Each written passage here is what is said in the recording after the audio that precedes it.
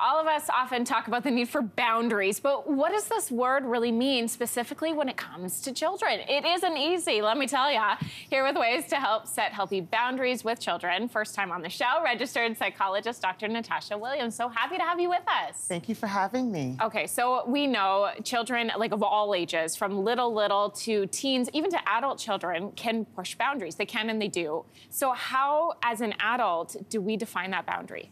It's very interesting because with our boundaries, we define our boundaries by how we sort of encircle ourselves. So, how do we place a boundary? What does that mean? What does that look like? Where does our boundary end and where does the child start?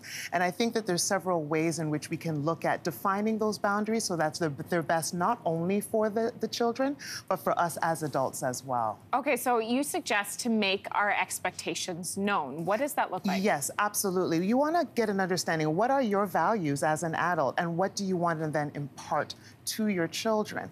And so, for example, if your value is going to be loyalty, if your value is going to be responsibility, you want to make sure that you teach that in such a way. So that would look like, for example, if you have a child that maybe, for example, wants to go to the movies and, and you know, maybe, you know, go after they do their chores. So the thing is, you want to make sure that it looks like they've done their chores, then you take them to the movies. But if they now decide, you know what, I'm not going to do my chores, I'm actually going to go and just play around and not do anything, what it would look like now is like, okay, well, the loyalty or the expectation now is I'm not taking you to the movies at this point. Mm. So you now really have to define those things and make sure that there's consequences to those actions. Yeah, I was just going to say the impact of crossing those boundaries, the right. consequence has to be real and it has to be consistent. That's right. And the thing is, is that we also have to recognize that we're not always going to be consistent all the time because I think as adults, we think we have to be perfect mm -hmm. all the time.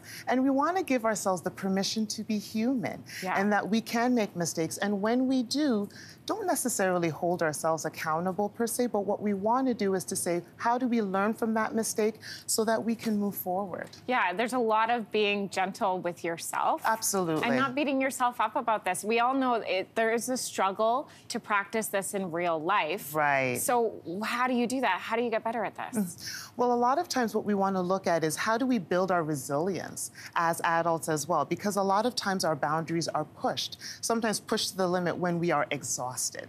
So a lot of times what we want to look at is how do we take care of ourselves to build our resilience? Does that mean you know, engaging in self-care practices, reading, going and making sure we engage in activities that are enjoyable for us and carving the time for that. Now, saying all this, it is not easy by any means, but what we want to do is implement that time so that we can be better adults for our children and our children can see that as an example. Doctor, it's interesting. I'm hearing you talk about like how we're raising our tiny humans. It really is a lot of work at kind of fixing ourselves. Oh, absolutely, because they end up modeling and seeing what we do. So a lot of times it's not just about what we say, but it's about what they see, and that, that ends up being the most important. So you, you talk about all these strategies that work really well, I think, with your own kids, but when it comes to maybe kids that aren't yours, maybe your friends' kids mm -hmm. or your mm-hmm. nieces and nephews or, or even kids that you see on the schoolyard, how can you impart these types of boundaries with them as yeah. well? Yeah, a lot of times it's the consistency. I think that's the thing because a lot of times children will see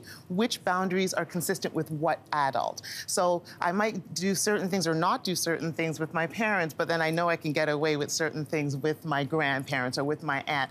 And I think what would be important is how do we then look at uh, a script of consistency so that the boundaries that the parents are setting, the grandparents can also hold to as well as the at. So it's being able to have that communication so that there's consistency across the board and that is modeled for the child. Okay, I like these tips. Listen, it was your first time on the show, but I hope it's not the last. Oh, I'd love to be back.